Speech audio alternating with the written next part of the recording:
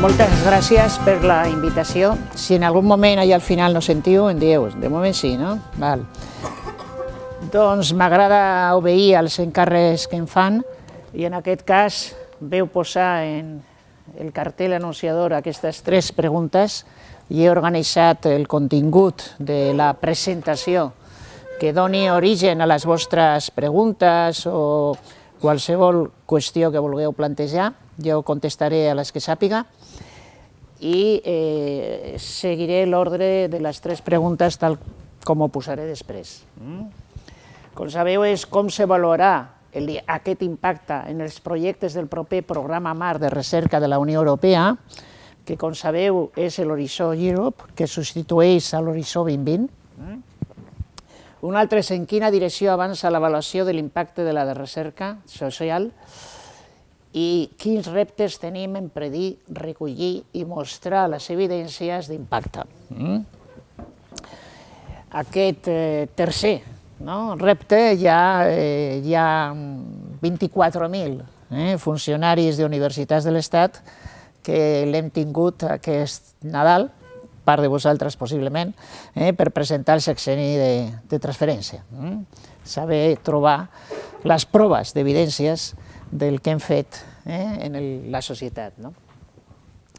Bé, mm, en investigació i en coneixement és molt important dir les fonts, no només les fonts d'on trec la informació que us posaré aquí eh, a debat, sinó les fonts que vosaltres mateixos i mateixes podeu comprovar eh, i podreu precisar.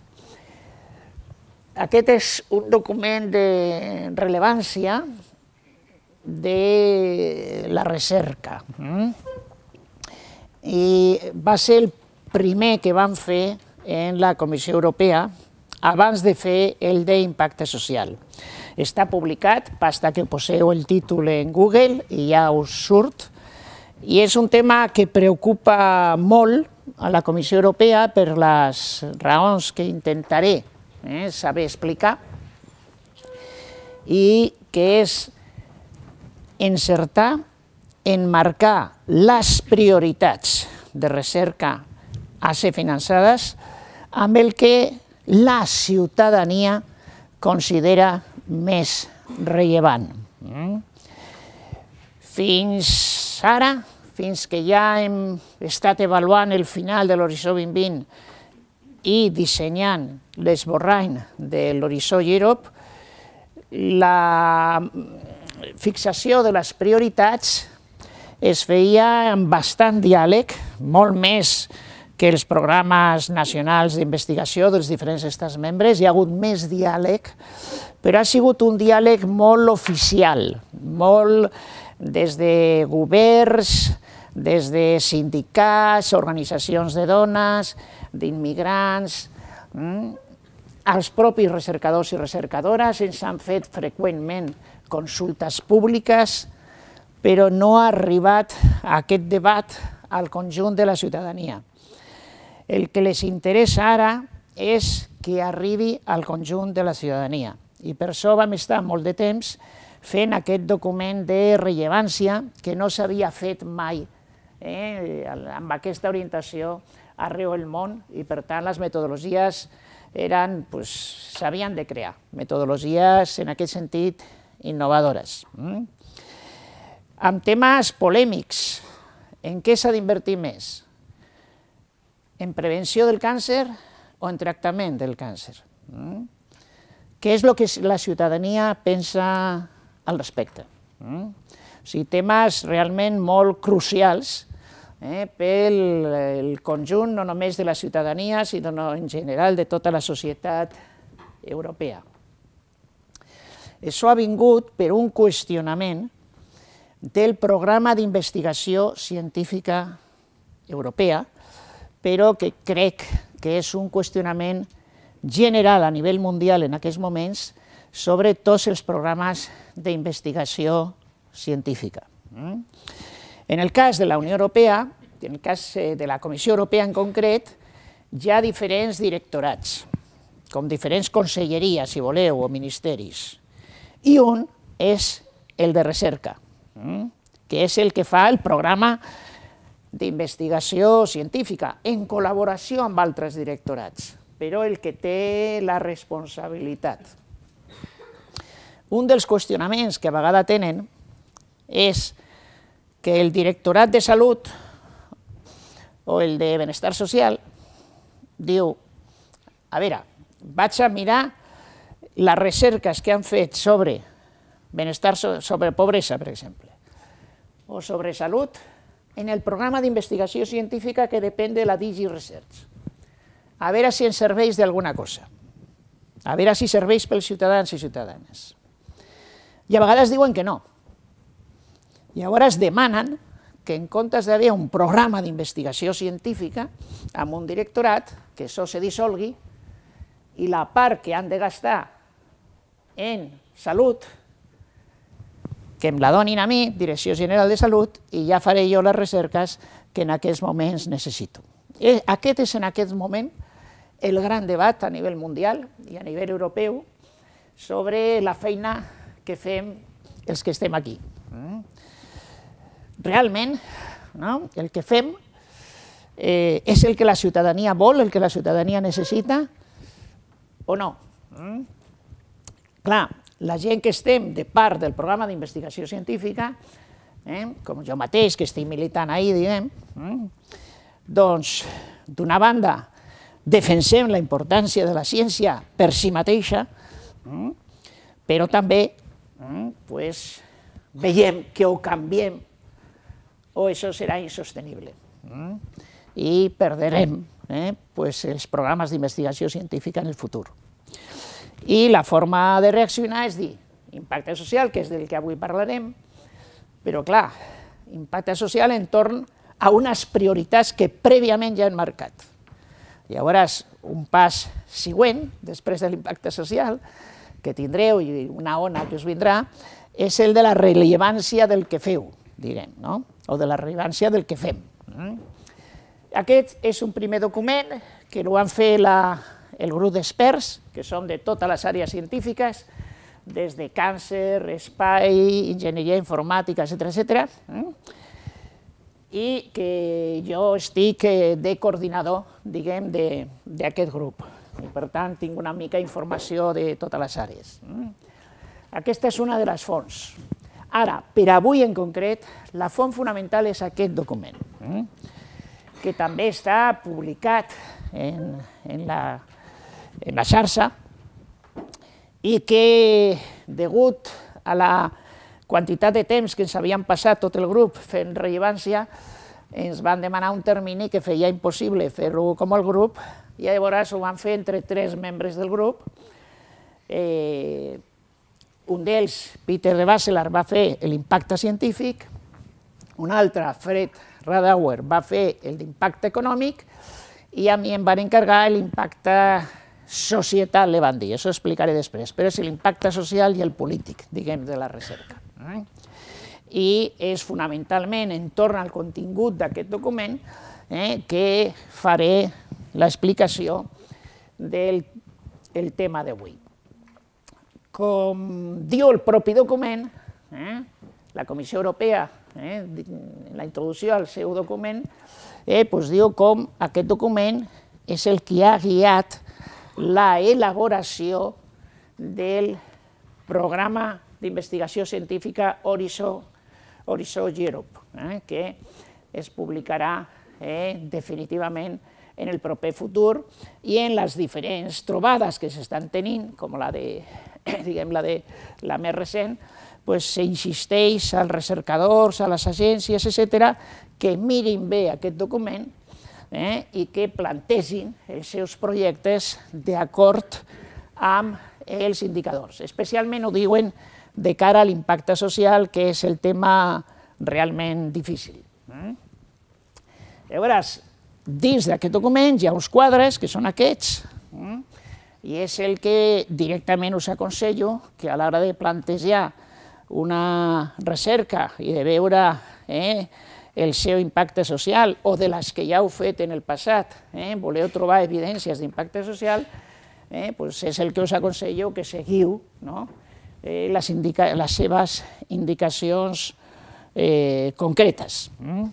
Perquè, a més a més, en aquests moments la Comissió Europea està liderant a nivell mundial aquest tema i, per tant, serveix no, no només pels projectes concrets de l'Horizon Europe i no només pels plans nacionals dels diferents estats membres, sinó per qualsevol projecte a nivell mundial, a nivell d'organitzacions públiques o de fundacions privades.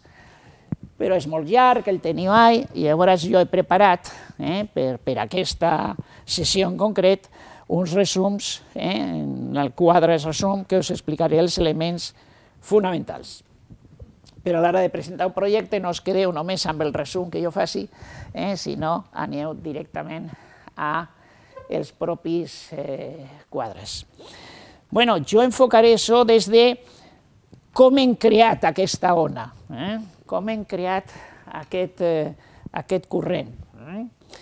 Jo crec que és molt important per als recercadors i recercadores Eh, això ho plantejo a debat, eh, no és que jo tingui la veritat, però jo crec que és molt important no esperar que la ona ja eh, hagi passat, eh, ni tan sols que estiguem dins de la ona, sinó saber veure quan ve la ona eh, i anar preparant-se per això.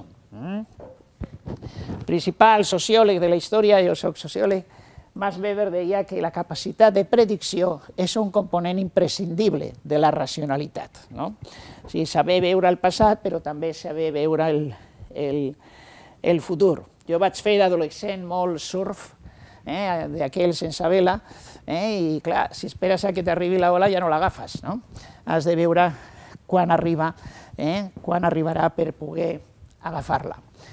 Doncs, al 2016, precisament, van fer un congrés al que van venir totes les agències, la National Science Foundation dels Estats Units, la, bé, totes, eh, diguem, les més importants del món, amb premis Nobel també, eh, va, haver, va haver gent d'aquí, eh, de la URB també, el doctor Cartanyà i altres, diguem, i ahir es va, va venir el responsable de la Comissió Europea eh, d'aquests temes i va dir, públicament va dir, sou la maquinària perfecta que ens la trobem ja feta en el moment que descobrim que la necessitem. No?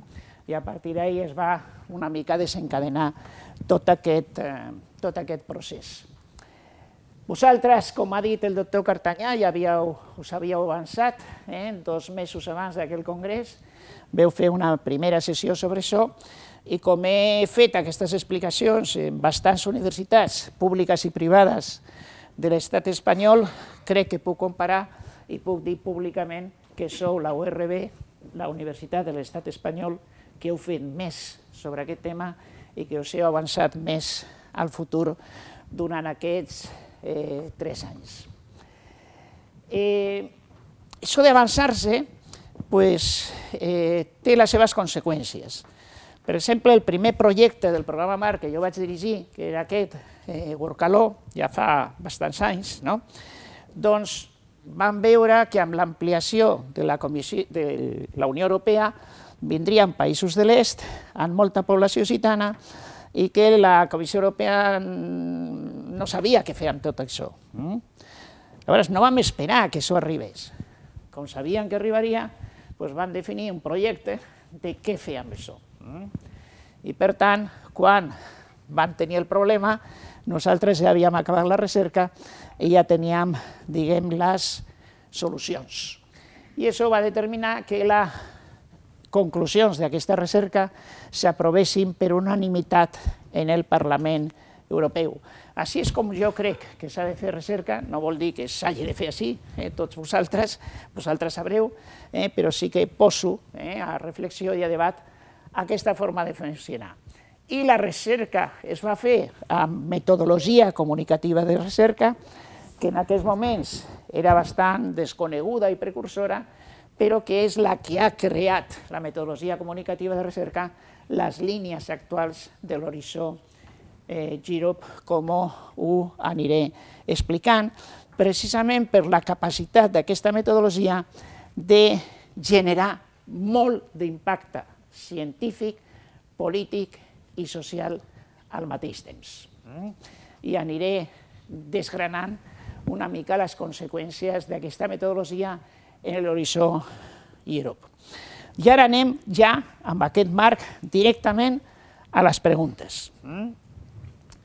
Crec que us interessarà, crec, més la segona que la primera, perquè concreta molt més, eh? però ja que heu fet la primera, diré algunes línies a nivell mundial que de totes maneres també estan dins del mateix document. El mateix document també es fa aquesta pregunta i abans d'anar a concretar en l'horitzó Europe, mira què és el que hi ha a nivell mundial eh? i descobreix una sèrie de problemes, d'orientacions, eh? que després concreta en els quadres que abans us he posat. Eh? En aquesta primera part veurem una mica l'àlgebra eh? i després anirem a l'aritmètica. Concretarem en números les lletres eh? de la primera, la primera part. Anem amb la primera, doncs. Mm?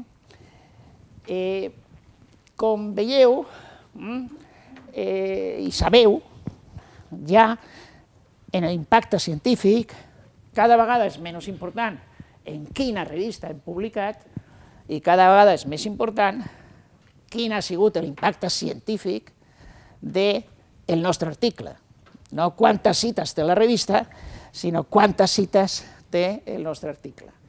Però no només això. Eh?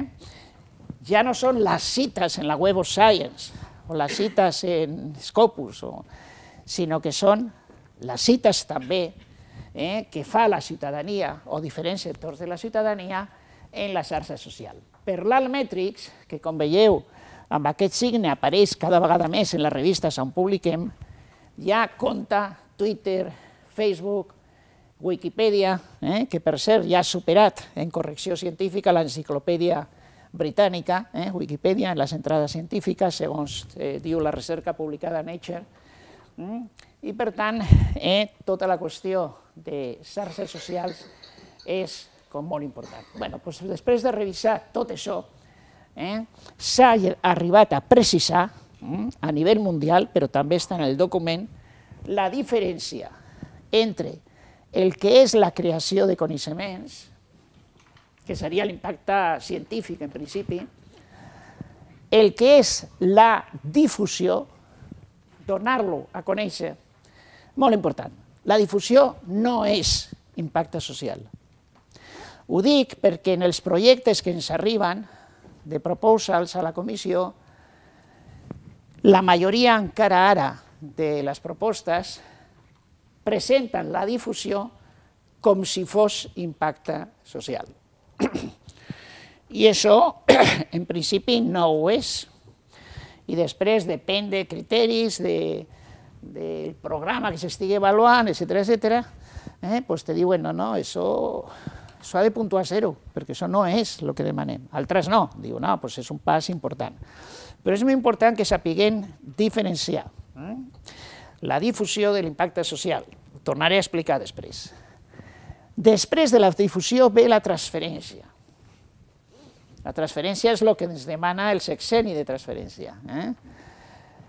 Però això no és impacte social encara. Mm? L'impacte social arriba quan la transferència dona resultats de millora. Ara torno a repetir tot. Primer creem coneixement, això és una obligació nostra, Després, hem de fer que la societat conegui el que, els coneixements que hem creat, no que la comunitat científica conegui els coneixements que hem creat. Això és una part. Sinó, sí? Sí, sí bueno, és similar a communication, encara que la communication a vegades inclou més coses, però sí, és la comunicació, el que normalment hem dit comunicació científica és molt important, eh? però no és impacte social, eh? perquè jo puc comunicar un coneixement meu i pot ser que ningú l'utilitzi mai. Tothom ho coneix, però ningú ho utilitza. Per tant, no hi ha hagut millora. Quan algú utilitza aquest coneixement, una empresa, un govern, uns ciutadans, una família, un moviment social, qui sigui, quan algú utilitza aquest coneixement, ah, llavors hi ha hagut transferència. O sigui, aquesta comunicació ha donat origen a una transferència. Mm? I per en el sexeni de transferència anem buscant no? Proves de que alguna empresa, alguna associació, algú ha utilitzat els nostres coneixements. No només els ha conegut, sinó que els ha utilitzat. Mm? Però que algú utilitzi els nostres coneixements no vol dir que aquest ús dels coneixements hagi generat una millora. Pot haver inclús empitjorat la situació.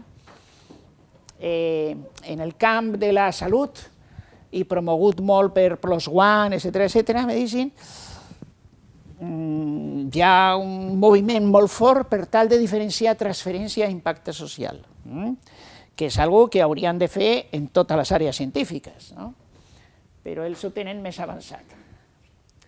Que un laboratori te compri els coneixements que tu has fet i cregui no? pues un determinat fàrmac no vol dir que la utilització d'aquest fàrmac millori la salut. Mm? Són dues coses diferents, que a vegades coincideixen o a vegades no coincideixen. L'únic que li interessa a la Comissió Europea i a nivell mundial és l'impacte social. Tot el més són passos previs per lo que, per exemple, la Digi de Research ha de demostrar a les demés Digis, al Parlament Europeu, a la ciutadania europea. Li ha de demostrar no només que hem comunicat els nostres resultats, sinó que s'han usat mm? i d'aquest ús ha esdevingut una millora social. Clar, de cara al càlcul de l'impacte social, el que hem de demostrar, això en general, eh, ja sé que és molt difícil, hem de demostrar no només que hi ha una millora, sinó que aquesta millora és més gran que si aquests diners s'haguessin utilitzat en una altra cosa. Eh? Tal com es va dir en una conferència de la ciència contra la pobresa europea, si destinem dos milions d'euros a investigar científicament la pobresa, els investigadors i investigadores ens han de demostrar no només que el que han fet serveix per superar la pobresa, sinó que així se supera més que si donéssim directament els dos milions d'euros als pobres. Eh? Aquest és el criteri de fons fonamental. Eh? Aquesta és la ona eh? que ja ens ha arribat i no m'amago dient que jo la defenso moltíssim i he col·laborat a crear-la. Eh? O sigui que els que estigueu en contra després podem debatre tranquil·lament, si hi ha diferents opinions millor, eh? però que és una ona que, que, que ja està, que ja, ja, ja està entre nosaltres. No? Quan dèiem fa tres anys això, aquí, en aquesta mateixa universitat, a molta gent li semblava ciència-ficció. Eh? pues mira, eh, tot el que van dir en aquella sessió ja s'ha complert. No? I eh, en, el, en el proper futur, en els propers tres anys, veureu que la ONA ha avançat encara molt més, no perquè hi ha uns neoliberals, buròcrates, que... no, no, sinó perquè la ciutadania exigeix això, i cada vegada més té cada vegada més informació eh, i demana cada vegada més uns resultats a la inversió que s'està fent amb els seus impostos, amb els productes de la seva, diguem, de la seva feina. Això és el més important, diguem, de com s'entén l'impacte social al món. A l'hora de fer el document que teniu de monitoring, en el que estic basant el que dic, no? pues, s'ha concretat d'una determinada manera. S'ha separat l'impacte científic, l'impacte econòmic, i s'ha anomenat impacte societal també a l'impacte polític. L'impacte polític és un tipus de transferència. O sigui, quan qui usa els nostres coneixements és algun govern local o, o nacional o estatal, no? llavors es dona aquesta transferència un impacte, diguem, polític, però s'ha inclòs per raons concretes, eh, que no, crec que no són molt importants tractar-les aquí, s'ha inclòs dins de l'impacte societal i per tant es considera com una part del mateix. Mm? I per la gent que diu, i llavors la recerca bàsica, què és el que passa? Mm?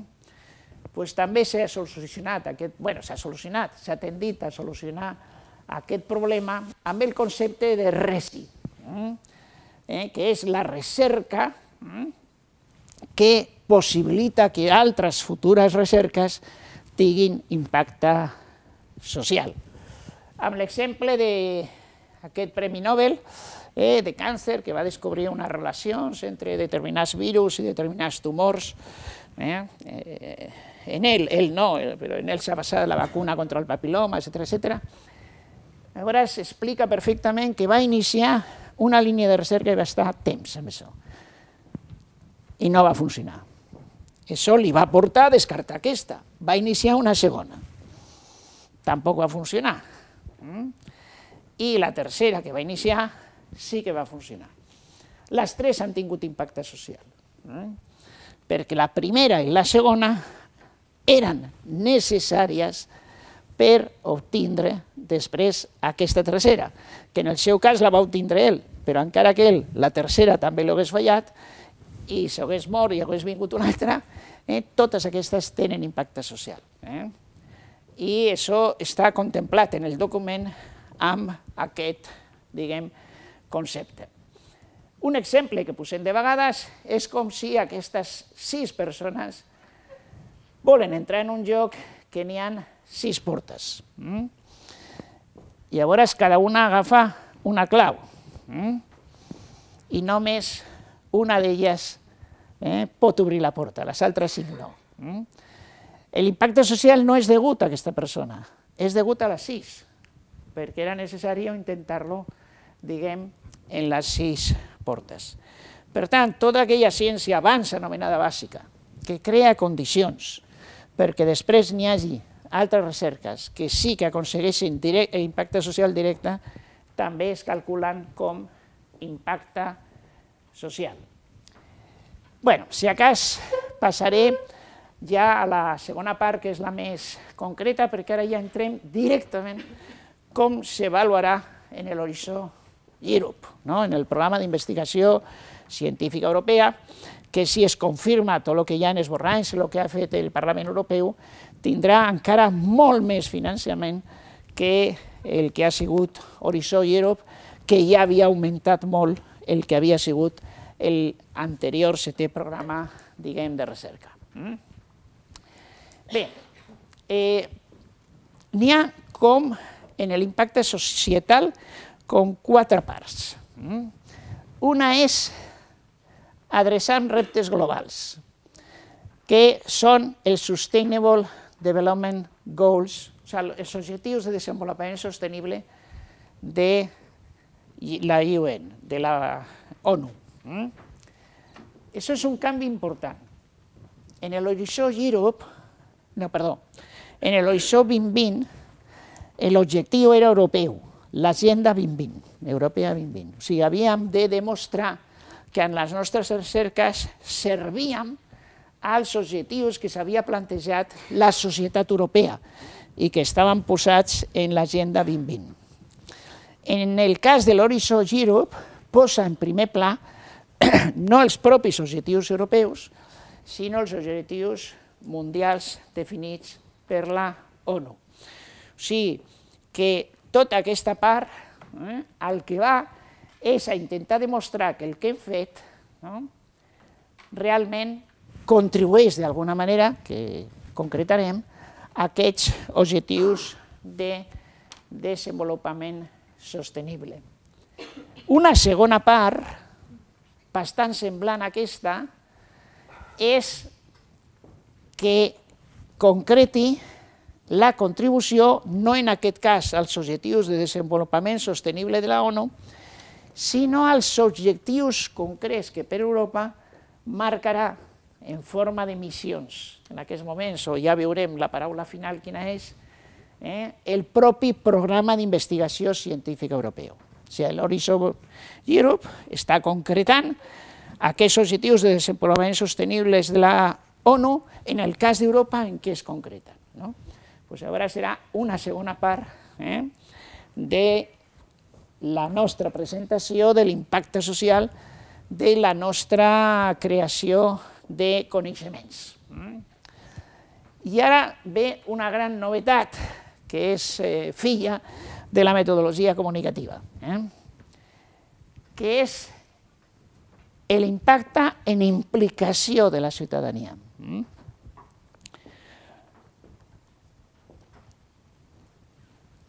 Això no estava encara en les tendències mundials d'impacte social. Això s'ha inclòs per primera vegada, sí, explícitament, en l'Horitzó Europe i en aquest document de l'Horitzó Europe. Mm? I amb un requeriment molt insistent de la Comissió Europea a nosaltres, als, en teoria, experts, diguem. Mm? De que això és fonamental, és un impacte social que la Comissió necessita, eh, i que és fonamental. No és que hagi aparegut de cop així, sense res. Sabeu que en l'horitzó 2020 ja era molt important la paraula co-creació, mm? que ja és eh, una part d'això. Mm? És a dir, la implicació de la ciutadania no és de cara a la comunicació científica només, a comunicar-les el que hem fet, sinó a que ja abans, en la creació de coneixement, tinguin un paper protagonista. Mm? O sigui que la implicació de la ciutadania no ve després d'haver fet nosaltres la recerca, mm? sinó que ha de venir des del moment, des del mateix moment que estem pensant fer una recerca. Mm? I hem de, bueno, hem de, diguem, es valora eh, que ja en aquesta definició de la recerca que farem ja estigui implicada la pròpia ciutadania. I això es considera també i s'avalua com a impacte social. De totes maneres, jo defensant això, també diré que en el propi impacte científic s'està parlant i s'estan avançant cada vegada més tendències en aquest sentit. Per exemple, quan es parla, o Nature parla del Open Peer Review, no només la avaluació de pares no? anònims, sinó la avaluació que facin de l'article la pròpia ciutadania que el llegeixi. Eh?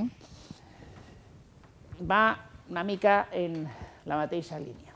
I després, realment, la quarta part que s'ha posat com a impacte societal de fet, és un, una transferència, és un impacte polític. El que passa és que el mateix que a la comissió li interessa que la ciutadania estigui implicada, li interessa que els representants que escollim la ciutadania a través de les eleccions també estiguin implicats eh, en la nostra recerca, en la nostra creació de coneixements. Ara explicaré una mica més cada un dels quatre quadres. Mm? sobretot el primer, i després veuré una mica les diferències amb el segon, tercer i quart quadre. Bé, anem amb el primer. Mm? Era aquell dels objectius de desenvolupament sostenible. Mm? Ja tenim una segona característica eh, de l'avaluació de l'impacte. S'avaluarà diferent a curt termini, a mitjà termini i a llarg termini. Si en els quatre quadres, quatre quadres veureu aquesta periodització, diguem, eh? aquests tres períodes. Quin és el que més interessa? El tercer, l'impacte, l'indicador a llarg termini, que és pròpiament l'únic que és impacte societal. Però aquest freqüentment arriba tard i també és tard per avaluar-lo, perquè si a un projecte li considerem que té un impacte potencial important i li aprovem i li donem 3 milions d'euros, clar, si esperem a 5 anys o més a avaluar-lo, ja s'han gastat els 3 milions d'euros. Lo hem d'avaluar en el procés d'elaboració eh, del propi del propi projecte, a veure com ho estan fent. Mm? I demanar-los en aquell moment que ja tinguin impacte social, en la majoria de casos seria impossible. Aleshores, què avaluem? a curt termini només es valorarà el coneixement eh, que s'ha creat.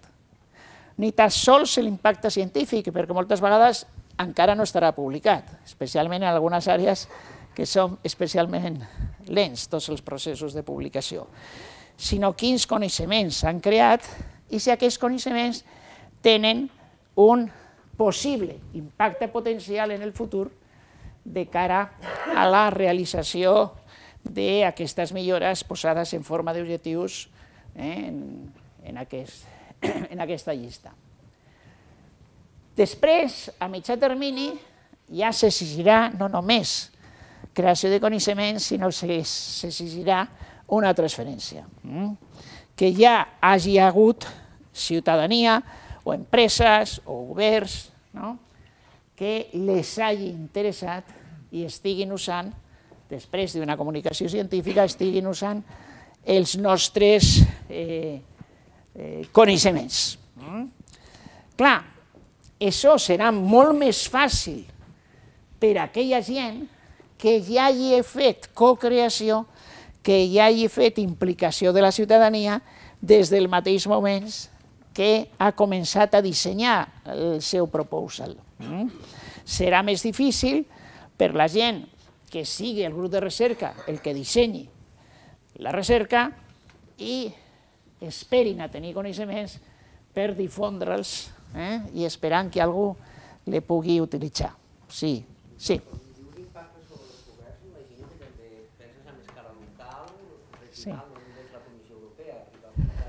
Sí. Impacte sobre una localitat mitjana com Tarragona o com un poble sí. rural? Sí, o un poble petit, també. Eh? Sí, sí, tot compta, eh? com impacte polític. Eh, I a més a més, no només el que és un ajuntament d'un poble petit, també compta, sinó que eh, s'utilitza un concepte de política, que, que sabeu més que jo d'anglès, ho sabeu, que en el món anglosaxó s'utilitza molt eh, no només el que fan les administracions, sinó també el que fan els col·lectius, etc etc, també es considera política, diguem. No? És un, com un grup, un moviment, un grup, o inclús una associació que es planteja una determinada actuació. Sí, sí. Mm? Que no són empreses, eh? diguem. Mm? O sigui que eh, després, si ens dona temps, veurem com de totes maneres s'avalua com millor, diguem, o amb més puntuació, quan la dimensió de l'organisme arriba a més gent. Eh? Però, però sí, per suposat. Eh? que si algú inclou dins de la seva proposal de recerca eh, ja la col·laboració pues, d'un ajuntament petit, eh, pues ja està, ja ho té, diguem. No? Que implicació no és que jo defineixo el projecte i després tinc un amic regidor que li diu, oye, me firmes aquí. Mm? Sí, clar, s'ha de demostrar que hi ha hagut un procés de diàleg que respon als objectius del propi Ajuntament. O sigui, que no ha sigut una cosa així de, de passar a firmar el paper a darrera hora. ¿no? Bueno, estoy viendo algunas caras, no matéis al mensajero, estoy, o almenys no avui. Eh? Sí que es provoca un canvi gran. I ja a llarg termini sí que es demana que es pugui demostrar amb evidències, que és el problema fonamental que en la meva opinió tenim, eh, i el canvi de la nostra cultura que se'ns demana, que demostrem amb evidències que aquesta transferència ha generat un impacte, diguem, social, societal, com es diu aquí. El coneixement es medirà per outputs. Eh? Si lo voleu traduir, no sé com seria la traducció correcta, producció s'he posat, però bueno, outputs en anglès. Eh? En el cas de a mig termini seran les innovacions que s'han produït com a conseqüència de la utilització d'aquests outputs.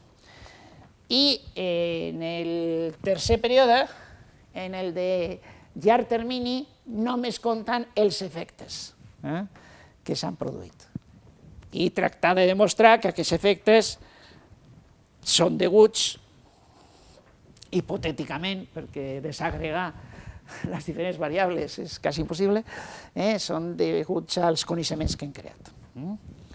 Aquesta és la idea. Bueno, i quines fonts podem utilitzar? Ara ja estic entrant quasi la resposta a la tercera pregunta, eh? però bueno, pensava que aquí juntes quedarien eh, també a nivell general més clares. No? A veure, una d'elles la literatura científica sobre l'impacte eh, social aconseguit. O sigui, no la literatura científica, no els articles científics que hem fet amb els outputs la nostra recerca. Això no compta. El que compta és els articles científics que parlen de l'impacte social que ha tingut la nostra recerca. Això és una de les fonts. Direu, però si quasi no hi ha articles avui en dia científics sobre impacte social de les recerques. No, quasi no. Però ara totes les revistes més importants, eh, Nature i, i, i Science van estar en el congrés que us he dit tres anys eh, i hem tingut moltes converses eh, i Skypes. Eh, mm, per exemple, Nature ha decidit demanar als, als autors dels seus articles científics que posin les evidències d'impacte social en algun dels repositoris perquè es pugui citar des d'allà. O sigui que hi ha una tendència eh, a valorar en la literatura científica l'impacte social. Molt important, les xarxes socials. Mm?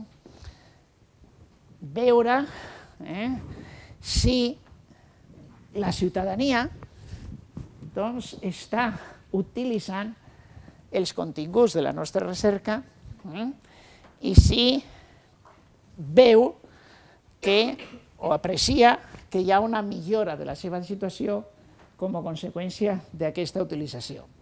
Clar, com podem arribar a la ciutadania d'una forma, com es demana la comissió, que sigui ràpida i barata? Mm? Bueno, fer enquestes a una mostra de la ciutadania eh, és caríssim. Eh? I a més no deixaria de ser una mostra. Mm? Per tant, en principi, no és que no es pugui fer, però no és el mètode eh, pues, prioritzat.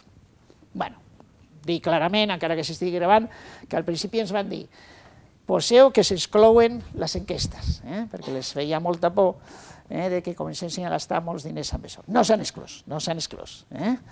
però no és el mètode prioritzat. Quina és una forma molt ràpida i molt barata de saber el que un sector de la ciutadania, la que, el que usa les xarxes socials. Pues eso és facilíssim, no? Pues eso es fa Big Data, Data Mining, eh? es fa Twitter Analytics, es fa... Eh?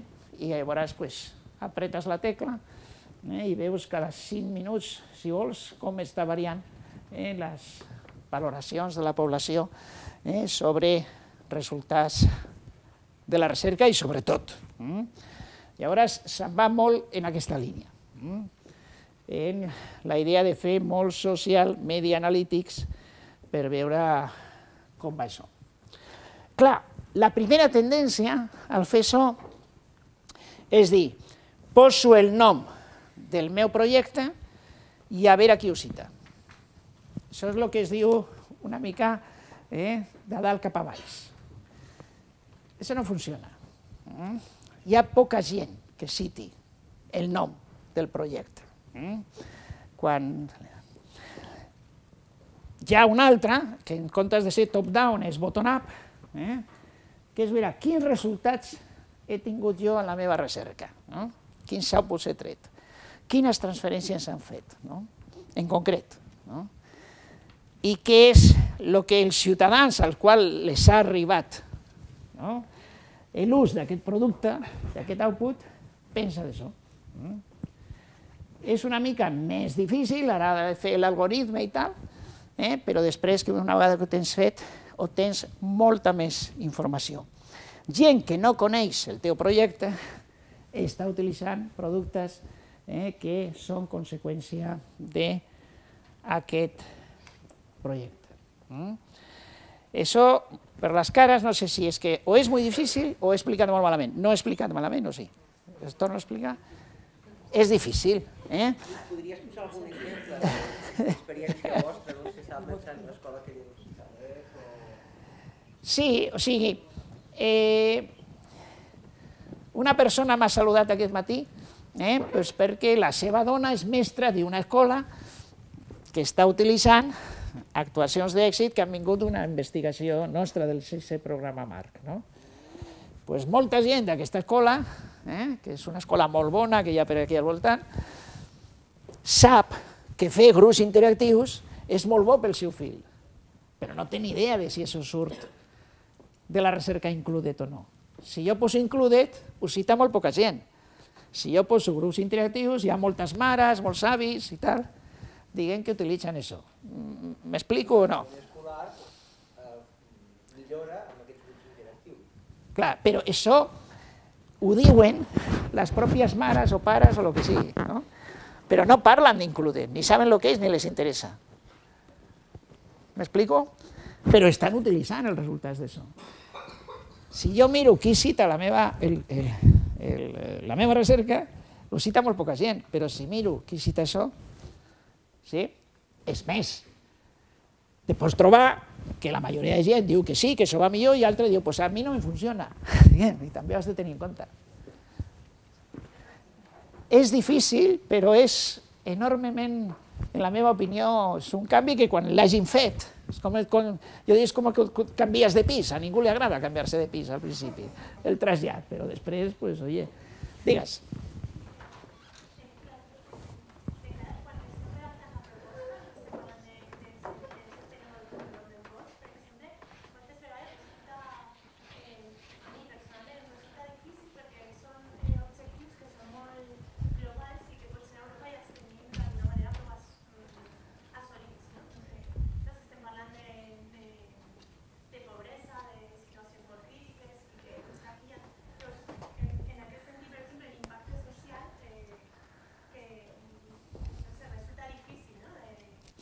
Sí, sí. Tu, eh, totes les preguntes que tingueu, feu, eh? és prioritari les vostres preguntes sobre el que jo tinc presentat, perquè a més a més és el mateix. Eh? En aquest cas planteja dos temes molt importants. No? Un, la dificultat del que jo estic explicant, de veure si he tingut impacte social o no, però un altre, encara més difícil, és, que tu també planteges, quan faig el proposal, eh? Encara no he tingut impacte social. Què és el que poso allà? Començo per la segona, que és la més difícil. Eh? Llavors, el que més es valora és el que t'aconsello, això sí que ho aconsello, eh? és que posis els indicadors de l'impacte potencial del coneixement que penses crear i com ho mediràs des del primer mes de realització del projecte. Amb un cronograma, mm, veuré si això s'està donant o no s'està donant. No podem saber, a l'avaluar el teu proposal, si tindrà impacte social o no, perquè això definitivament no se sap, diguem, eh, fins després, no? però sí sabem que precises quin és l'impacte social i precises uns indicadors que no deixen de ser un contracte teu, eh, que firmes un contracte eh, de com l'impacte social que vagis tenint des del primer moment es veurà en aquests indicadors. Una altra cosa, que potser us creu més problema amb això, però és per solucionar-ho després. Quin és l'indicador que utilitzem en un proposal per veure que potencialment tenim possibilitat d'impacte científic? L'impacte científic que ja hem tingut els membres del consorci si els membres de consorci han publicat molt en revistes d'impacte científic, és un indicador que utilitza la persona avaluadora del potencial impacte científic posterior. El mateix d'impacte social. Un indicador del possible impacte potencial futur és l'impacte social que alguns membres del consorci ja hagin tingut anteriorment.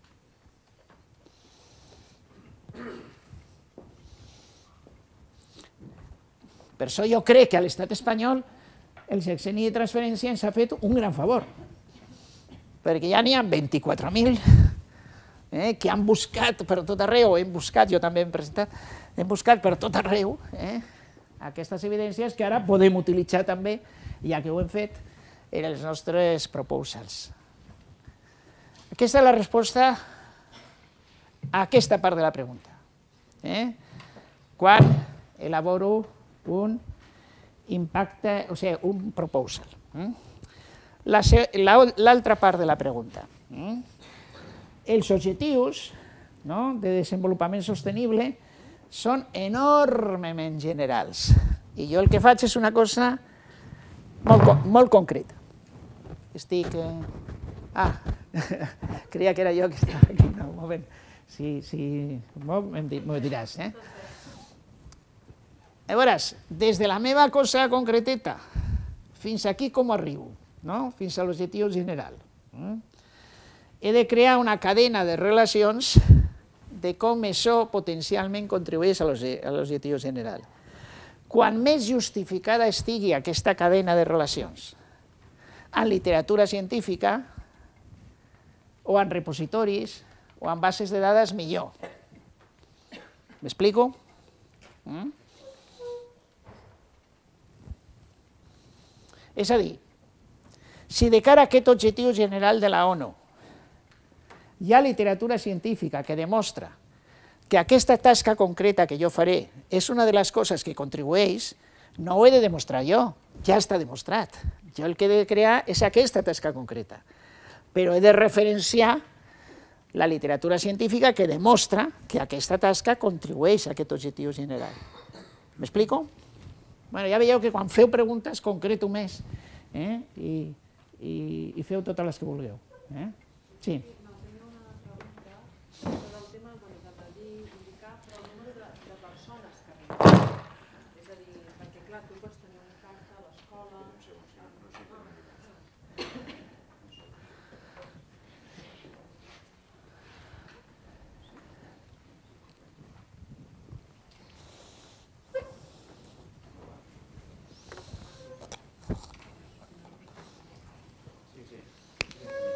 Si voleu els de darrere, jo puc repetir la seva pregunta. Eh? Sí, sí, sí. Però jo, pots tenir un impacte en l'escola, en el barri, amb l'exemple que heu posat, o pots tenir un impacte a nivell de, de que organitzes els tallers, etc. Però és aquest l'impacte que et demanen, has de tenir un impacte a gran escala. No? Llavors això això ja és, és difícil. Jo pensava, per això ho veia difícil també com mesurar-ho. A veure, eh, jo parteixo de que difícil ho és tot, perquè estem començant, no? O sigui, és difícil per mi també, o sigui, és difícil... Eh, no perquè sigui més difícil que altres coses, sinó perquè altres coses fa molt de temps que les fem. Eh? Jo vaig tenir ocasió de, de, en fi, de conèixer i xerrar molt amb Robert Merton, que va ser el que va crear una mica, eh, o va establir a nivell científic la revisió per parts, i els lios que van tenir abans d'arribar a això. Eh? Si, bueno, a part que té molta història, però i al final van dir, oye, pues, el número de cites dels parts. Ah, a veure, compta el mateix una cita dolenta que una bona, no? Si te diuen que és molt dolent el teu article, compta, doncs també, no? Mm, diguem, eh, no deixa de ser un indicador. No? I ara estem en la mateixa situació, estem creant eh, una mica això. No? Llavors, el que se'ns demana, i això està en... Eh? Sí, està per aquí, com està aviat, eh, doncs ja ho poso. Eh? Estimació de la millora total generada a la Unió Europea. Eh? Però diu estimació. Eh? És impossible saber-ho. Eh? És, o sigui, costaria molts més diners saber això que el que costa crear la millora. Per tant, no es pot fer, eh? no s'ha de fer. Mm? Ara, el que sí ens demanen és una estimació. Mm? És a dir, en molts camps fem una recerca i la amb molt poqueta gent. Mm? I aquesta gent veiem que el 80% millora amb això, d'aquest grup petit. Un altre ho ha replicat no sé on, no? i en comptes del 80 era el 60. Podem pensar que és entre el 60 i el 80.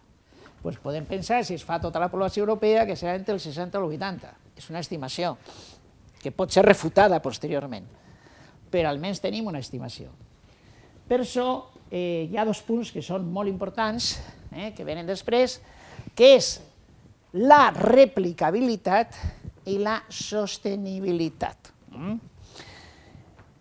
Ja que no podem fer aquesta recerca a 20 persones i això estendre a tota la població europea sense més, demostrem que és replicable. O sigui, demostrem que el que hem fet aquests 20, uns altres en un context totalment diferent, no? siguin membres del consorci o no, ho han fet amb 20 totalment diferents i que més o menys el tant per cent és similar. Mm? La replicabilitat és un dels criteris fonamentals, eh? diguem, per calcular l'impacte social. Mm? Perquè el que sí hi ha molt clara és una idea que estic repetint tres o quatre vegades, i és que no podem gastar-nos més diners en demostrar l'impacte social eh, que en generar impacte social. O sigui, de, ni més diners, ni més temps, ni més... Eh? A més, això és un criteri que ens donen constantment. No? Eh? I l'altre és la sostenibilitat, en el que deia abans, de demostrar l'impacte social dels recercadors o recercadores del consorci, anterior, del passat. Si només demostres que has tingut impacte social mentre has tingut els diners del projecte, fatal. Mm? Si has de demostrar que després de que s'hagi acabat el projecte, que vas fer, l'impacte social ha continuat. Si fas un acord amb una empresa o amb un govern local o el que sigui, i les vas amb els diners del projecte, que poden participar i durant aquell temps lo usen, però quan ja no hi ha diners lo deixen d'usar, és senyal que l'objectiu de l'empresa o del govern local no era el projecte en si, perquè millora, no? sinó era obtenir els diners. Per tant, no hi ha sostenibilitat. Per tant, aquests dos criteris sí que us aconsello molt que els poseu, eh, els proposals. Mm? I també en el càlcul després de l'impacte. Mm? És una estimació. Mm? De totes maneres, jo defensant-ho sí que és millor que res, eh? perquè nosaltres hem fet intervius a IPs que s'han emportat eh, milions d'euros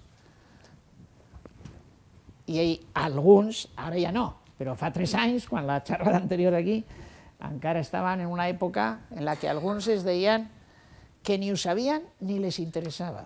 Eh? Llavors, clar, difícilment podrem, no és la meva tasca. No? I, clar, això és una mica, una mica, eh, bueno, molt autodestructiu per nosaltres, no? Eh? En aquest sentit. Bé, més o menys aquest és el plantejament d'aquest quadre i és molt similar el del següent quadre, el de, en comptes dels objectius tan generals per tot el món, els més concrets que s'estan acabant de decidir per el propi programa d'investigació científica europea, que sí que se fa en col·laboració amb altres directorats, que no és la Digi Research, i amb altres organitzacions, etc. etc. Mm? I amb intervenció del Parlament Europeu i de més. Eh? És bastant similar. Mm? Val. Doncs, no, de moment no m'entretinc lo de les fonts, si ho pregunta algú, eh, pues, ho diré, eh, perquè vaig als altres quadres que són una mica diferents. No? El tercer quadre, que és el de l'impacte en la ciutadania. Mm? A curt termini, interaccions internes amb la ciutadania. Mm? Nombre i compartició de projectes del projecte, del Framework Program, on la ciutadania de la UE contribueix a la co-creació de continguts del projecte. Mm? Compartició és sharing, eh? no sé com s'ha de traduir, eh? o sigui, shared eh? que comparteix. O sigui, que a curt termini només se demana que hagis aconseguit implicar a la ciutadania en, el procés de creació dels outputs. Mm? No es demana res més. Per tant, és una ciutadania, eh, en aquest cas també molt concreta, eh? o sigui, molt mm, petita, si vols. No? Mm? Clar, a mig termini ja se t'exigeix més. Mm? Interaccions externes amb la ciutadania.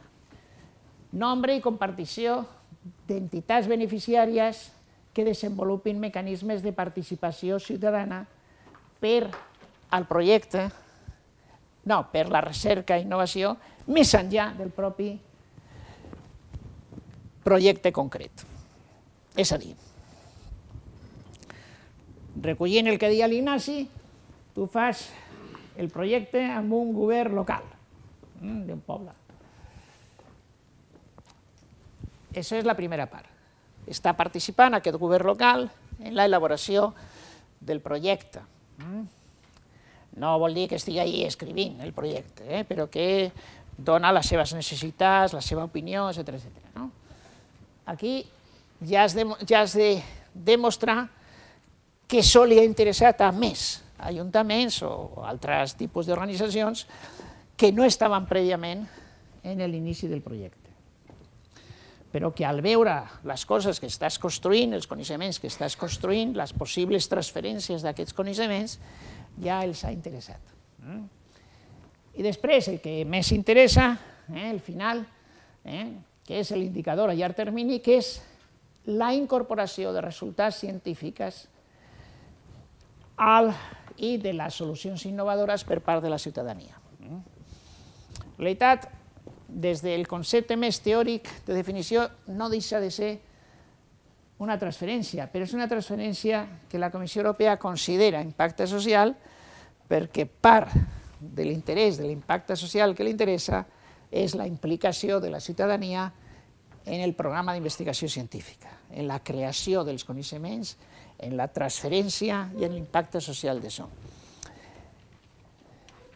la meva opinió, i suposo que és l'opinió de molts que estan aquí, que tot això té que veure amb la situació actual de la Comissió Europea, dels problemes, de les pors eh, que en aquests moments té d'allunyament de sectors de la ciutadania, eh, de les pròpies institucions europees, o de la idea de que s'està estenent massa, considera la Comissió Europea, l'opinió de sectors de la ciutadania que la Comissió Europea no serveix per res, que potser s'ha de deixar, etc etc.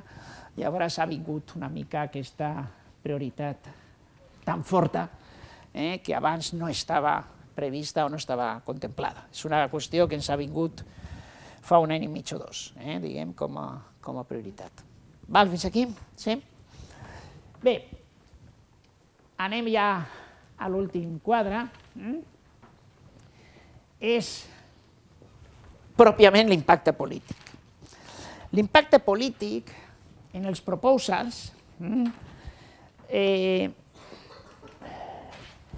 la poca gent que ho fa posa o els papers que li ha firmat un regidor mm, o un organisme o posa les interaccions que ha tingut, eh, que ha parlat i ha tingut una entrevista o, o coses d'aquest tipus. Mm? o que està d'assessor de tal eh, organisme o el que sigui. Eh? Bé, això no es considera impacte polític. Eh? Si no vol dir que s'hagin construït polítiques a partir dels coneixements de la teva recerca, per molt que hagis parlat amb un parlamentari o estiguis en, en no sé quin consell eh, de govern, etc etc. Eh? Anem a veure llavors què és el que es valora. Eh? A curt termini, projectes del Framework Program que produeixen resultats polítics rellevants. Bueno, a curt termini només això. Eh, el que estàs fent eh, pues és políticament rellevant. Estàs aportant coneixements que demostrin que estan més acertats els governs que estan vacunant massivament a noies i alguns ja a nois del papiloma, que els que en comptes d'això estan promovent revisions anuals. Mm? Aportes dades, aportes evidències sobre això mm? o no aportes? Mm? Evidències es poden transformar en polítiques i que puguin variar polítiques. Encara no les has variades, però estàs aportant una sèrie de dades que no es tenien abans i que poden fer replantejar-se determinades actuacions. No? Això és el que es valora a curt termini. Mm? A mig termini, mm? hi ha interaccions polítiques. Arriben als responsables polítics aquestes noves dades que estàs trobant, eh, si vols comunicació ja, no? diguem en aquest cas els polítics. No? Eh? Tens reunions on això es planteja, etc etc. Mm? Com reaccionen? I després ve el més important, que és pròpiament l'impacte polític a llarg termini. Què documents polítics citen resultats del projecte? Mm? Però ahir sí que mirem una mica més eh? Eh, la lletra petita d'aquí, perquè molt poques vegades un document polític cita eh, com a font, diguem, una recerca, concretament. Pot citar resultats de la recerca. Eh? Recerca poques vegades. No? Ah, llavors, pues, necessitem dades eh? d'evidències de l'impacte polític. Qualsevol evidència compta, però els beneficiaris, que som els recercadors, eh? mm, tenim una obligació d'aportar informació sobre això. Mm?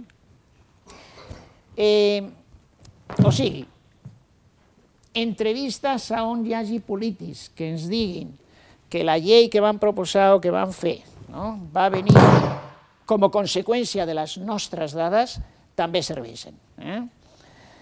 Si ells, en comptes de ser intervius nostres, ho diuen, eh, perquè eh, en la web d'una diputació surt que han creat no sé quants llocs de treball, no? Gràcies a l'aplicació d'una recerca determinada, això és fabulós, eh? perquè no has anat tu a demanar-los, eh? sinó que ells directament eh? no han posat el nom de la recerca, però, eh? però sí han posat el nom de l'actuació que esdevé, diguem, d'aquesta recerca. Mm? Fins aquí lo dels quadres. I ara una miqueta, eh? si no hi ha preguntes, passo a la tercera part, que d'alguna forma ja l'hem feta, però per concretar-la una mica més. Bé, de la tercera part, eh, primer una, si voleu, no sé, una reflexió, un debat, el que vulgueu. Mm? Eh, un gran debat que hem tingut en la comissió, sobretot en la primera fase d'elaboració del document, és que hi havia un corrent molt fort de dir bastant fan els recercadors i recercadores. Mm? A veure si aconseguim analitzar-los el seu impacte social sense que ells o elles ens hagin d'aportar, diguem, les evidències. Això seria meravellós i és el que tothom voldríem. El que passa és que és impossible. Eh? És impossible, han fet proves i és impossible. Eh? No vol dir que els recercadors i recercadores hagin de ser els únics que aportin informació, però ells i elles, o nosaltres, tenim informació que és molt difícil que des de a dalt algú arribi a un big data eh, que és pràcticament impossible. Mm? Ara s'ha pres l'altra postura. S'ha dit, bueno, pues farem tot el possible amb el Twitter Analytics, amb no sé què, per fer-ho més centralitzadament, però també hem d'estar oberts a que els recercadors i recercadores ens aportin informació eh, que si no sortiran perjudicats perquè nosaltres no podrem arribar. Mm? També s'ha dit que al fi i al cabo, quan avaluem a un recercador o recercadora el seu impacte científic, és en base a informació que ens està donant ell o ella, de han publicat, etc etc. El que passa és que, clar, també hi ha gent que diu, bueno, en aquests moments, amb Orchid, per exemple, eh, pues, ja no necessiten tornar a donar-nos, ja ho tenen allà, eh, i les administracions que vulguin, pues, o les empreses ho tenen facilíssim, eh, per veure eh, quin impacte científic hem tingut. Diu, ah, clar, eh, però prèviament s'han anat d'haver construït no, l'ORCID i totes aquestes coses eh, que ens permeten això. I el mateix s'ha de fer amb impacte social. Eh? El que es tracta és crear els repositoris, les bases de dades, que primer recullin la informació que nosaltres els aportem i que després es vagin creant mecanismes més automatitzats, com ha passat en l'impacte científic, perquè ja sigui bastant automàtic aquest procés. Eh, nosaltres vam crear un amb un projecte diguem, del setè programa Marc, amb Impact, que és SIOR, i és un dels que s'ha considerat, eh, conjuntament, encara que ORCID és una altra cosa, perquè fins ara té més l'impacte científic, però ara existeix un acord entre ORCID i SIOR per eh, incloure en ORCID també l'impacte social. No? Bueno, doncs en SIOR tenim, i altres que se crearan, eh, a part d'OpenAir i de més, la possibilitat d'incloure sistemàticament el nostre impacte social. I alguns de vosaltres ja ho heu fet. Eh? La URB és precursora també amb això. Eh? Quin avantatge té? Que si tu em dius en el proposal que has fet un article boníssim, si jo vull veure si és boníssim, l'ho he de llegir. Eh? Però si em dius que això està en un repositori no? de la Web of Science o de Elsevier Scopus, tal, i que lo han avaluat d'aquesta manera i l'han citat d'aquesta manera, jo no necessito llegir l'article i és molt més, és molt més fàcil eh? i és menys eh, subjectiu. Pues és, és, és, és molt el mateix. Si, si tu tens unes evidències d'impacte social i les poses en el proposal, genial. Però si aquestes evidències estan penjades en algun lloc que n'hi hagi hagut alguna avaluació, però a sobre que la ciutadania les pot veure eh, i pot opinar sobre si és veritat o no, doncs això té una validesa més gran. Mm? O sigui que un dels objectius seria que les evidències que tinguem les posem en ORCID, en SIOR, en Wikipedia, en totes parts. Mm? Mm? Eh, com us he dit abans, Wikipedia ja fa tres anys va igualar a l'enciclopèdia, no, fa quatre anys, a l'enciclopèdia britànica de les ciències en entrades científiques, eh, segons la investigació de Nature. Ara ja l'ha superat. No? Llavors, que aparegui la nostra impacte social, o sigui, si tenim un impacte social i ho posem no amb el nostre projecte, el nostre projecte, pim, pim, pim, no, no, no, sinó on s'està parlant d'això, no, diguem, eh, l'entrada que té referència, eh, en l'exemple meu d'abans, el fos interactiu, el que sigui, pues, poso allí, pues, ve d'aquí, això permet que altres també opinin, és un open peer review. Diguem, pues, llavors té més validesa si està en Wikipedia que si ho poso jo directament en el proposal. M'explico o no? Mm? En el fons te porta al mateix temps, o quasi igual. Eh? I a més a més no has de fer quan ja fas el proposal, ja ho tens fet i també té serveis per el i transferència que sigui... bueno, ara també aquí hi ha sexenis de transferència també en l'ACU. No? Eh? Eh, o sigui, que és feina que anem acumulant si la posem en jocs públics, on els pugui veure la ciutadania, els experts, etc etc, eh? que no deixa de ser també una, una certa eh, avaluació. Eh? Llavors, eh, potser perquè jo he estat implicat, però us poso l'exemple de, de SIOR, que podeu entrar, n'hi ha projectes d'aquí, de la URB, molt bons, que ja estan, eh? que demostren la replicabilitat, bueno, demostren la millora, demostren la replicabilitat, demostren la sostenibilitat, i tot això els dona una major, diguem, puntuació. Penseu que això és una puntuació no només que en aquest cas si or publica, sinó que si això fos mentida eh, o fos exagerat, hi hauria alguna persona que diria, o alguna administració que diria, per tant, això té més validesa per mi com a avaluador que si m'ho diu el recercador directament en el seu proposal. A la que has preguntat lo del proposal s'entén la diferència, no? Diguem.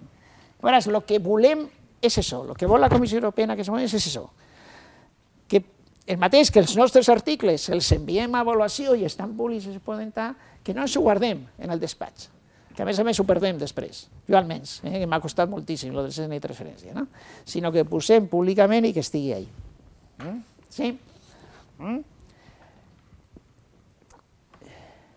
Bueno, és que vosaltres ja fa molt de temps que esteu en l'impacte social, eh? i ja teníeu molt fet. Eh? Però bueno, hi ha de tot tipus de, de projectes, de tot tipus d'universitats, incloses les millors, de Harvard, etc etc. Eh? I aquí és on està una mica el que tu preguntaves de l'estimació. Ja veuràs si entres ahí que no són dades exactes cap, eh? de cap, eh? són estimacions, eh? diguem, que es tenen de, de, de tot això. Mm. Bueno, i bueno, este és un que he fet jo, diguem, mm. i també pues, això, la sostenibilitat va acabar el 2011 i en aquests moments ja n'hi ha milers i milers d'escoles que utilitzen. No? Això de demostrar el que després de no tenir diners s'ha estat fent és clau. Mm? Sí. Quantes escoles vau començar aquest projecte? Si ara ha arribat a 1.100, No, ara ja no són 1.100, ara ja són més de 5.000, sí. A Catalunya va començar, Sí. per tenir una escala, no? van començar quatre. Bueno, però és això, quan proves una vacuna o proves no sé què, lo proves amb poca gent també, i després ho vas replicant. La primera vegada que em vau ensenyar l'agenda 2020 europea, clar, vaig dir, ostres, i nosaltres que fem ossos i pedres, què podem fer? I ens va costar molt fer el procés de discutir amb vosaltres, de dir, a veure, i sí, sí, fas una selecció i escales, i realment sí que pots eh, incidir si tens la voluntat d'incidir. Sí. I és, ens va portar un temps Sí. de dir, "Ostres, què fem amb això? I no, no, realment després vas estirant del fil, vas planificant la recerca i les accions i vas recollint la informació i sí, sí, certament és que surt. La primera que va començar a Tarragona va ser Arberic i Casas, eh? que la coneixereu. Per què no expliques tu el procés de quan van començar a parlar el que has dit, però una mica més, si serveix d'exemple? No, bàsicament, eh, Espera, espera, Ignasi. un, un, una persona de l'IPE es va contactar amb tu, llavors ens vam reunir, ens vau explicar les qüestions d'impacte social, ho fer fa 5 anys, vosaltres coneixíeu el projecte de Puerca i havíeu vist eh, pues, que s'havia anat fent eh, equipaments culturals i, i generació de llocs de treball, però nosaltres realment no érem pas conscients de que això pogués tenir una vessant de, més enllà de la bibliometria o de, de l'impacte sobre el territori. No? Llavors ens vau ensenyar l'agenda europea 2020, em sembla que eren 8 uh, eixos, i clar, inicialment no, no sabíem per on agafar-ho, llavors vam dir, bueno, n'hi ha dos que creiem que sí, que crec que, és, que era el tema de l'escolaritat i la i reducció de pobresa. I dic, bueno, nosaltres en aquí com podem incidir? Val, estem empleant gent jove o, o intentant que gent jove no se'n vagi dels pobles rurals de l'entorn de Tapuerca i que es formin, en les, que es capacitin en els treballs que els hi podran fer servir si els equipaments surten i eh, fem un procés d'engagement, no? de, de, de socialització de l'escolaritat perquè entenguin què és l'evolució humana i que canviïn certa perspectiva de les concepcions heredades que tenen a casa seva. I aquest és el, i a partir d'aquí va sortir una mica la resta. El tema polític tenia molta discussió de dir, ostres, però nosaltres com podem tenir impacte polític? I va ser, ostres, si estem modificant plans d'ordenació urbanística municipals, si estem convencent a les alcaldies perquè facin un BIC i, i, i, i, i eh, protegeixin una zona que si no seria caldo de- d'especulació de, urbanística. I és veritat que són processos llargs, és un, és un projecte em sembla que té 22 o 23 anys de plans nacionals contínues, però que si fas l'exercici... Passa una mica amb els, amb els gols de Nacions Unides, no? Estan bé. Els veus i són tots molt diferents i segons les àrees de coneixement, clar, amb tots no pots. Això també és una altra de les coses que, que ens vau explicar, de dir, quan feu un col·laboratiu no pretengueu abordar tots els eh, impactes, tots els indicadors d'impactes, els, els impacts ISOs que es posen a les templates. Seleccioneu aquells en els quals vosaltres podeu incidir i que sigui creïble que podeu incidir. Bueno, és una mica això. Molt bé. Eh, ens va demanar la comissió que seleccionéssim eh, eh, projectes d'èxit, d'impacte social, dels que s'havien fet en el programa Marc, eh, en els programes Marc. I ens van obligar que féssim alguns de fracàs, que no volíem fer, eh, dels pitjors. Llavors, eh, dels millors, que després s'ha publicitat, diguem, està en SIOR i està per ahí publicat, eh, un dels millors, dels que més impacte tenia, quan van entrevistar l'IP, eh, es va dir que malauradament no havia tingut gens d'impacte, eh? sí, perquè no sabia l'impacte que havia tingut. No? I després ha sigut molt conscient eh, de, de, i està contentíssim, però ell partia de creure que no havia tingut eh, pràcticament impacte. No? I això jo crec que li passa a la majoria de la gent. Eh?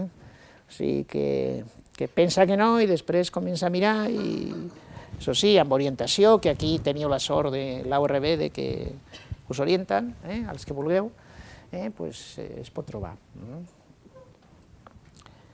Vinga, més dubtes. O crítiques, eh, vull dir. Suposo que, a diferència de fa tres anys, tothom veu que això és així, o sigui, que vulguem o no, ens agradi o no, no tenim remei. Has parlat molt de consorcis, però filar-ho per accions individuals? Sí, sí. El Science uh, Freedom for Society potser sigui... No, també les individuals es, es demana l'impacte social, eh? Mm? Sí, cada vegada més, cada vegada més. Mm? El que passa és que, com ell ha dit, Ignasi, també hem de graduar en funció dels recursos que demanem o que la COL, quin impacte social mm, ens comprometem a tenir, perquè és freqüent que s'avaluï negativament la desproporció entre recursos i impacte que vols aconseguir. Eh? És si la COL dona un milió d'euros, no és el mateix que si dona tres. Eh? I, i això, és un, bueno, això també us aconsellen i a part també eh, pues, en la FECIT us aconsellen, si voleu, trucant per telèfon, etc, si fer-ho més concret o no, Rocío Castrillo, etc. No? Sí, havia alguna pregunta per ahí.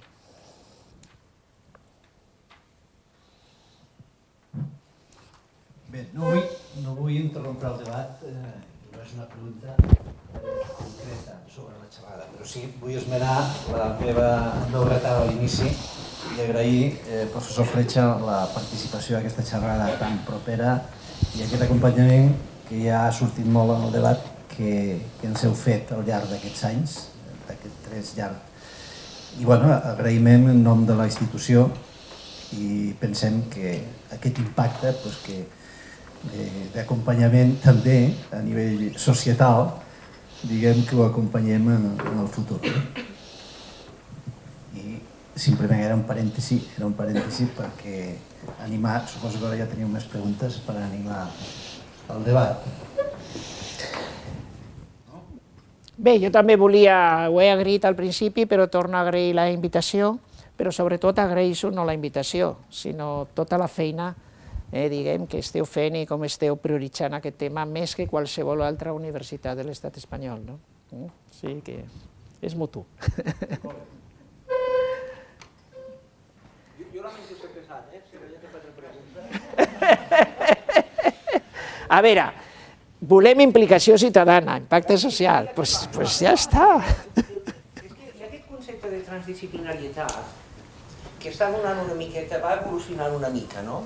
I quan parles de eh, citizen involvement i co-creació, hi ha una definició tècnica de, de transdisciplinaritat que és quan, quan eh, impliques el sector no acadèmic o la ciutadania. Però d'altres, en altres àmbits el fan servir com allò de beyond de disciplines, aquestes coses. Tu què penses? Que, que on anirà a parar la definició de transdisciplinarity? Sobretot quan aquestes proposals t'insisteixen molt en inter, multi, i a vegades queda tot diluït i ho escrivim d'una manera perdent la força que haurien de tenir. Bé, jo, jo crec que, que aquí un problema que tenim és la diferència entre el que són les línies dels programes que se publiquen i després el que fem els avaluadors i avaluadores. Mm? O sigui que mm, no necessàriament eh, pues apliquem l'espíritu una mica de, del programa. ¿no? I això genera pues això, desorientació de vegades, no? perquè surt un programa eh, potenciant molt la transdisciplinarietat, però després sabeu que, bueno, aquí hi haurà gent que ha sigut avaluadora, eh? sabeu que després els avaluadors són soberans, diguem, no? I, i normalment sí que apliquem, eh? perquè és obligatori aplicar la normativa, però eh, jo crec que també inventem nous criteris, no? Diguem, no, no, vam, no anem en contra dels criteris del programa, no? però inventem nous criteris eh? Que a vegades dificulten l'aplicació de la línia del programa. I en transdisciplinarietat passa molt. Mm? S'ha molt que des de la comissió es valora molt, diguem, ens volen inclús pressionar perquè ho fem, però després molts avaluadors són mm, bueno, molt reticents eh, davant de dir, home, si aquests la meitat no saben del meu tema, no? com, com, com poden diguem, col·laborar. I per això mm, un consell general no puc donar-vos, no? perquè no se sap mai qui seran els avaladors i avaladores. No? Però sí que eh, ser prudents en guardar un set i mig no? entre les dues coses, el que surt publicat oficialment i el que sabeu de com normalment funcionem els científics. Diguem. Això va haver una època, eh, en els primers programes MARC, que quan avaluàvem, eh, si algú també ha avaluat que ho digui, eh, teníem el científic officer davant. I el científic officer no podia opinar, només observava. Però si utilitzàvem un criteri que no estava contemplat en el programa, ens deia, això no es pot tenir en compte des del meu punt de vista, des del meu personal, anava molt millor, no? perquè no condicionaven el resultat, però sí que ens advertien eh? una qüestió típica, i tu has mencionat abans, és si aquest projecte és massa ample o és massa concret. Eh? Clar, és un, és un criteri que pot arribar a ser molt subjectiu. No? A veure, si tens un científic officer allà que te diu no, això no es pot valorar, eh, pues seria millor. Però vam ser nosaltres, els avaluadors, els que, avaluadores, els que vam demanar, poso primera persona, però jo no, però bueno, van demanar que no estigués allà, no? sinó eh, que volíem ser més independents. No? I això pues, també té els seus problemes, sobretot en transdisciplinarietat. Mm? Sí? Jo ara sí que tinc una, una pregunta sí. en context del, del tema de la, sí. de la xerrada. Sí. Llavors, nosaltres estem intentant muntar i impulsar una oficina de suport als projectes internacionals dintre del, del clúster de recerca de Tarragona i comarques, diguem, del sud de, de Catalunya. No? Llavors, aquí, en, des del teu punt de vista, els esforços en, en temes de mesura, avaluació, impuls, de que l'investigador estigui eh, bueno, a, la, a la pàgina del que és i com se mesura l'impacte social o societal. Llavors, en quina mida hem de pretendre que el nostre investigador domini aquest tipus de, de mesures i de mètriques, no sempre traduïdes en aritmètica, o la podem també acompanyar com una bona formació als membres d'aquesta oficina, que en definitiva és els que han d'ajudar als investigadors a visibilitzar la correcta confecció d'aquesta proposta. Jo, eh, indudablement no puc aconsellar el que, lo que feu, eh, sí puc dir una visió general de la Unió Europea al respecte d'aquest tema, eh, que s'estan plantejant moltes universitats. No? Jo veig un avantatge a fer les dues coses, eh? i explico. Mm? Ara ens ha arribat l'avaluació de l'impacte societal de la recerca, però aviat ens arribarà l'avaluació de l'impacte social de la universitat, inclosa la docència. Mm? Com la Facultat d'Economia d'aquí està millorant l'economia de la regió. Mm? O com eh, la Facultat de Química, si existeix, està millorant la indústria química d'aquí. Eh?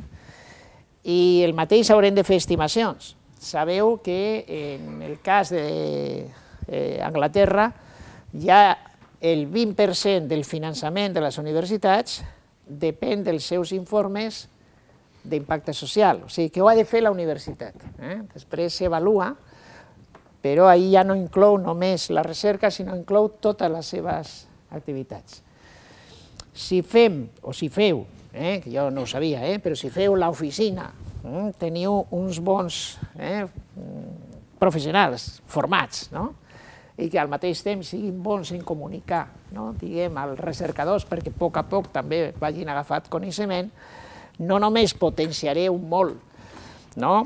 Els projectes que captareu de recerca no? per la vostra universitat, sinó que estareu més preparats eh, com a institució eh, per després afrontar l'altre repte que serà encara més difícil que aquest.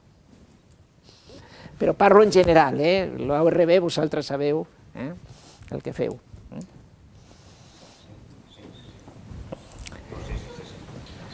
No? Sí? És igual, se sent igual. No, jo tenia una, una pregunta sobre sobre l'estructuració i l'organització millor per aconseguir impacte. Tenim estructures per fer docència, tenim estructures per fer recerca, hem generat estructures per fer transferència. I ara emergeixen els social labs.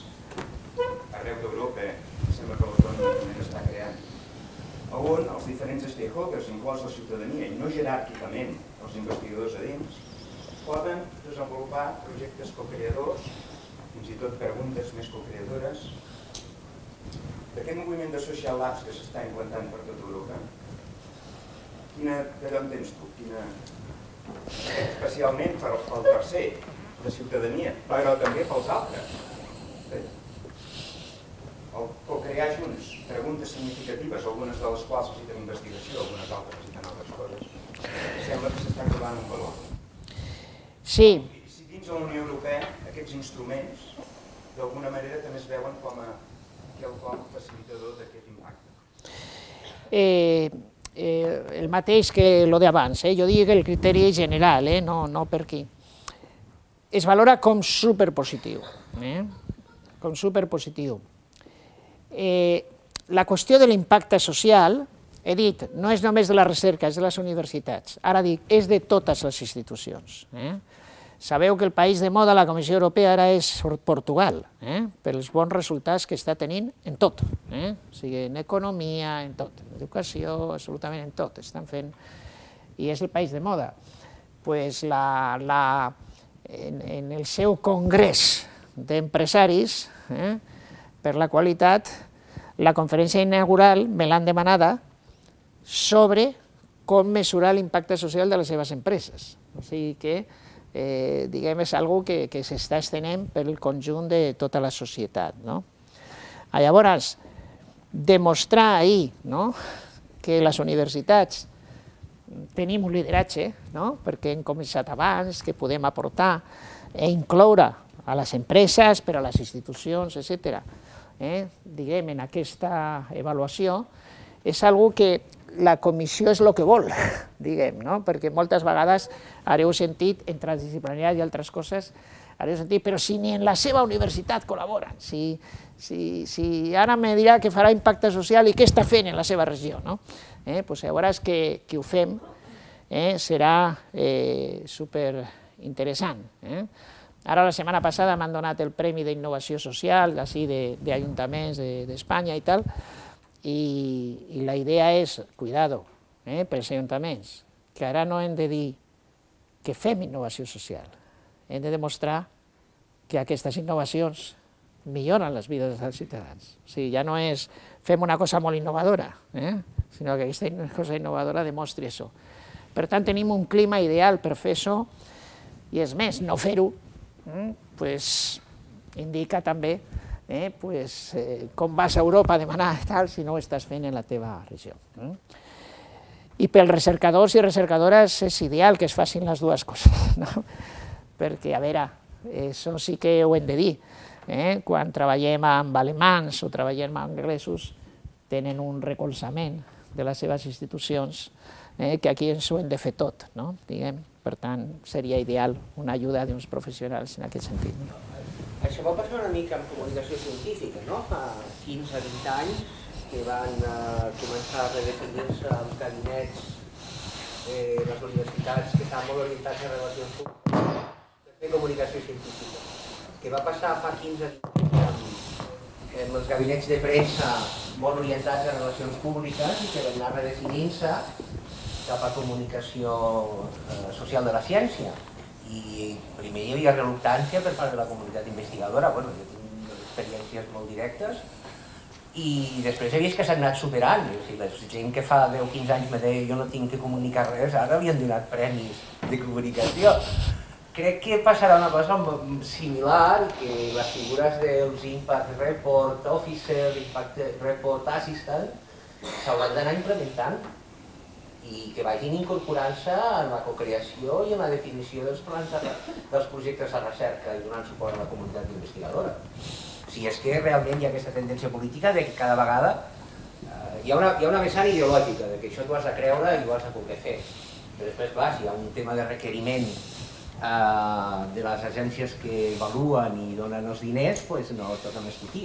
Jo, eh, o sigui, nosaltres sabeu que hem fet recerca sobre això, hem fet recerca de la recerca, o sigui, hem tingut un projecte de milions d'euros del programa MAR per avaluar com la gent està responent a això, eh? els recercadors, les agències, etc. Llavors, el que hem vist clarament és, al principi, resistències, protestes, eh? ala, una cosa més. Eh? Després veure sistema de recompenses que deia Merton. El sistema de la ciència depèn del sistema de recompenses. Després que ho he de fer, eh? perquè, bueno, així aconseguiré. I en la gent que ho ha fet, eh? un grau de, en general, un grau de satisfacció màxima. Eh? O sigui, una vegada que han canviat de pis, diguem, doncs ja comencen a gaudir eh? de, de l'esforç del trasllat. Satisfacció molt gran. Eh? O sigui, jo crec que, que això és el que passarà en la nostra comunitat científica també, no? que estarem molt satisfets i molt satisfetes de que estem contribuint a una millora social i que se'ns reconeix no? per part del conjunt de la, de la societat.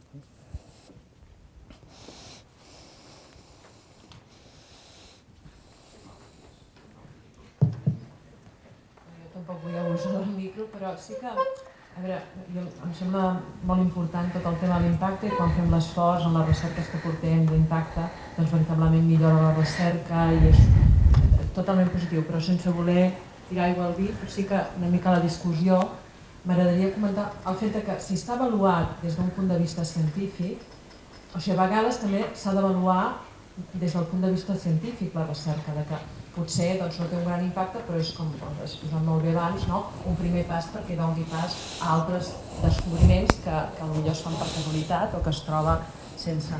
I això no sempre és avaluat, jo penso, potser per la comissió des d'un punt de vista científic. A vegades hi ha gent d'empresa o el projecte Horizon 2020 amb el que estem doncs, eh, és, és un, un projecte molt orientat cap a, cap a la part de la indústria. Llavors, aquí jo veig un risc que hi pot haver en què no sempre hi hagi aquest ideal més ètic o més uh, científic darrere, no? No sé si m'explico. Hi pot haver un interès molt de, bueno, molt més, diguem, neoliberal de resultats i que veritablement és l'única cosa que veig una mica o que, bueno, que, que pot anar en detriment. No? Si tothom ho avalua des d'aquest punt de vista científic, no? si tothom és com el Ramon Fletxa, perfecte, no? però no sé si... Gràcies. A veure, eh, en la meva opinió, eh, institucionalment, mm, i encara que digui opinió és, bueno, no és veritat, però és tret d'informació, de, de recerca, o sigui, això dependrà institucionalment, fonamentalment, de el desenvolupament organitzacional. És a dir, si fan el que han dit allà, l'oficina i l'altre, eh, aconseguirem que els eh, arguments científics i socials triomfin. Si triomfen les empreses, i, i jo ja veu que estic a favor de les empreses, però vull dir, les empreses que te vindran a ella i li diran no et preocupis, ja t'ho faig jo per tant, però no per diners, sinó per un tant per cent del projecte en el cas de que el guanyis. Ve a la universitat i li diu, per què t'has de gastar uns professionals? Eh? Jo t'ho faig. Si fem així, eh? I és un dels perills claríssims, perquè elles, aquesta gent es mou molt ràpid, no? Ah, llavors sí que la motivació científica, eh, pues, i concretament la ciència com a impacte social també, la creació de coneixement pel coneixement com una necessitat humana, anirà desapareixent. No? Per tant, el problema és com canviem les organitzacions que tenim, en el nostre cas les universitats, per afrontar aquest repte abans que altres. Eh? Eh, eh, ella mateixa pot dir, la meva universitat no me fa l'assessorament, oi, pues jo si trec dos milions no me costa res donar-li un 0,1% a aquesta empresa que m'ho fa. No? I, I ja, jo crec que hi ha un perill enorme en aquests moments. I una de les raons és per lo lentes que som, a vegades les organitzacions que tenim altre tipus de motivacions.